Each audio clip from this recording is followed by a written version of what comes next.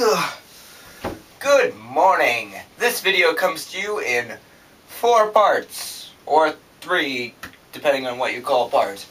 Part one, new junk. Look at my new t-shirt. Look at my new t-shirt again. Look at my new t-shirt a third time. And the piece de resistance. A brand new and beautiful ukulele. The Great Wave Pineapple Ukulele. I could just spend this entire video looking at it.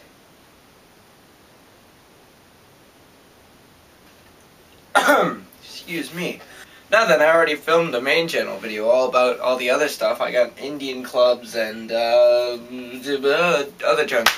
So now it's on to part two. Dreams. Last night I had a dream. Uh, it was lots of crazy stuff.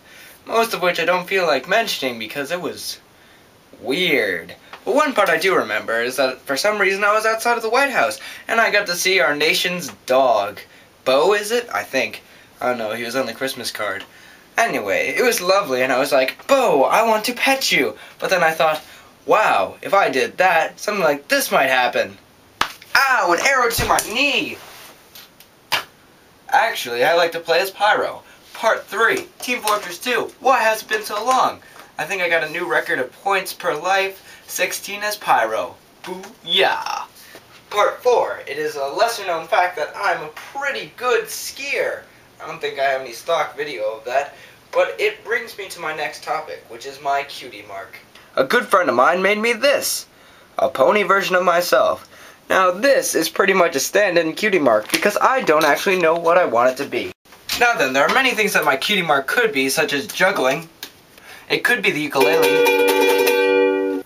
I don't know, it could be video making maybe. It could be Team Fortress 2.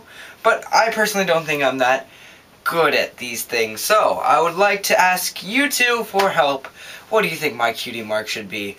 And what do you think your cutie mark is? Sorry for that pause there.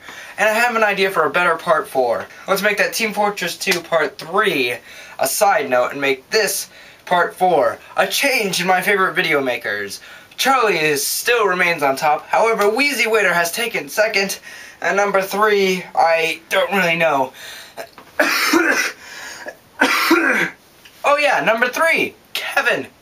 Kevin who's like XZX No Regrets Z something. Uh, and he's just the best Let's Player possible. And Wheezy Waiter has been so amazing and, yeah. So that's a thing. See you on Wednesday, Alex, and see you on Friday, Ellie. Goodbye. Voice crack because I'm sick.